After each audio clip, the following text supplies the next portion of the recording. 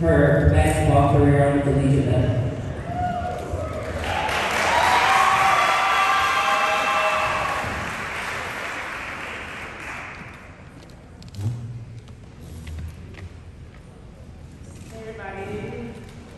Uh, hello.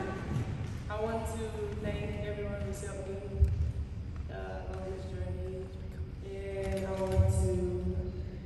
I want to thank everybody. Um, I want to thank the basketball team every basketball team that I've had here. It's, always been fun, and I want to thank every teacher that's taught me outside of basketball. And I want to thank the friends that I've made here. And